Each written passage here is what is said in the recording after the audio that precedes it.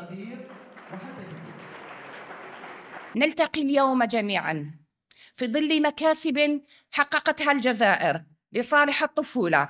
من أبرزها دسترت مبدأ المصلحة العليا للطفل في التعديل الدستوري الأخير بمبادرة من رئيس الجمهورية السيد عبد المجيد تبون الذي خص ملف الطفولة بعناية خاصة وأدرج ضمن الأولويات الوطنية لبناء الجزائر الجديدة. تتواصل المكاسب لضمان حماية أفضل لأطفالنا بصدور منذ أيام قليلة خلت.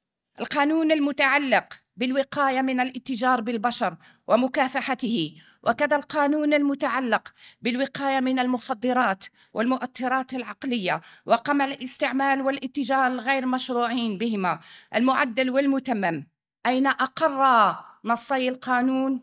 حماية خاصة للأطفال من هذه الآفات الاجتماعية. تمكنت خلال وجودي في الأيام الثلاثة الماضية من اللقاء مع عدد كبير من الوزراء. واطلعت على الموازنة التي تليها دولة الجزائر لقطاع الخدمات الاجتماعية الأساسية للأطفال سواء كان على صعيد التعليم أو على صعيد الصحة أو على صعيد كمان توفير الحماية الاجتماعية للأطفال. والهيئة الوطنية لحماية وترقية الطفل هي